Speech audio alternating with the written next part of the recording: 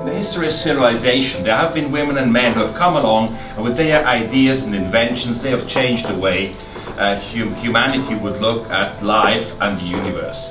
People like Galileo Galilei, Sigmund Freud, Einstein, Darwin, Pablo Picasso, different areas and different disciplines of life. And I do think uh, that Dai Vernon for the art of magic holds the same importance as these people in other areas of life. And the idea of, of this seminar is to show through his works, we're going to talk about technique, tricks and uh, theories, uh, presentations, to show why this is so, at least try to capture the essence of Vernon's magic.